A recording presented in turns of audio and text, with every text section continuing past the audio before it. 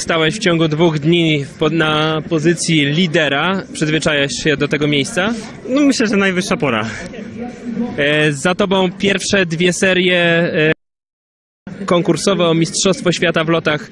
Gdyby ktoś ci powiedział przed e, dzisiejszymi zawodami, że dwa razy 200 metrów przekroczysz, uwierzyłbyś? To znaczy, ja jakoś nigdy nie, nie uważałem siebie za wybitnego lotnika i myślę, że tutaj prawka tego, że jednak tej pracy było trochę włożonej. E, ja spodziewałem się, że na pewno będzie lepiej niż na poprzednich lotach, na których bywałem, bo jednak ta zmiana stylu, e, no na tej skoczni powinna najwięcej procentować.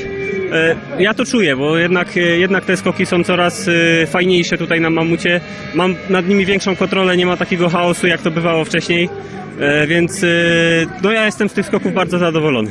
A co cię bardziej cieszy? To, że dwa razy ponad 200 metrów, czy że rekord życiowy pobiłeś?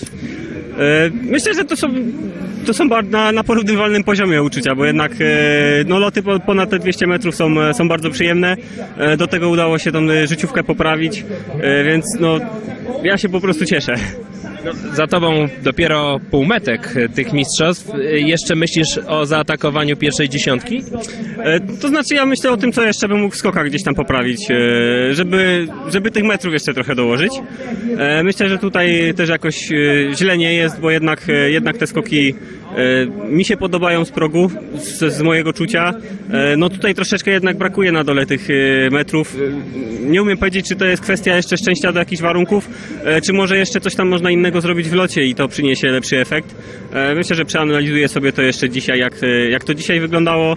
E, No i będę miał jakiś pomysł na jutro.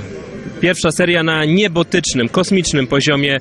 Większe wrażenie robi rekord skoczni Noriakiego Kasajego, czy poprawiony później faworyta Petera Prewca? Obydwu nie widziałem. No ale wrażenia chyba jakiś masz. E, No cóż, no gratuluję chłopom, bo naprawdę na pewno były to przyjemne loty dla nich. E, Słyszałem właśnie, że Nori bardzo w dodatku to ładnie wylądował, więc e, szacunek dla niego, że, że potrafi dalej tak skakać E, i oby jak najdłużej.